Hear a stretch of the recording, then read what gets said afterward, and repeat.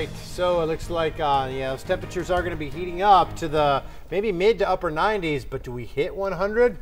Don't think so, Not but quite. hey, if you uh, amateurs at home maybe think that you uh, see something I don't see, let us know. Play Ice Break. All you got to do is go to the uh, App Store, the Google Play Store, and download the uh, News 4 app, hit Icebreak 2019, and then once you're in there, all you got to do is put your email in, and then you put the date down to the hour and the minute when you first think we hit 100 degrees at Tucson International Airport for the very first time. Once that is done, you are done. You can play once a day, but keep in mind, multiple correct guesses go to the person that guessed the soonest. Got to make that fair somehow, right?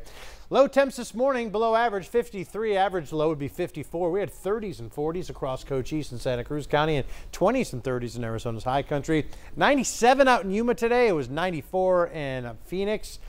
Gorgeous shot. Days continue to grow longer. 85 sunny skies, weather perfection across the region. 31 is the dew point, humidity 14%, winds out of the northwest at 12 miles per hour. Mostly into the low to mid 80s now at the 6 o'clock hour across the city of Tucson.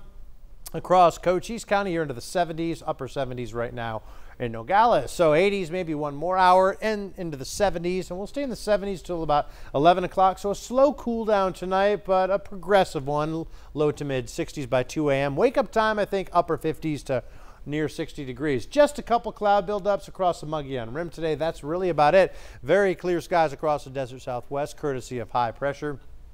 Low pressure, the one that brought us some showers and storms yesterday and the day before, now located in sections of Texas. This area of high pressure will continue to migrate to the northeast. And as this process happens, that's when we're going to see really sort of the crux of the heat. So we'll bid farewell to this low pressure. This is going to bring the heat on in. Uh, Friday, really think the warmest day. Saturday is still going to be plenty of warm.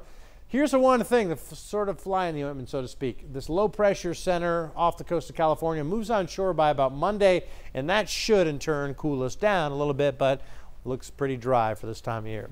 Here's your forecast and for tonight. Upper 50s near 60 for nighttime lows. Sunny and warm tomorrow.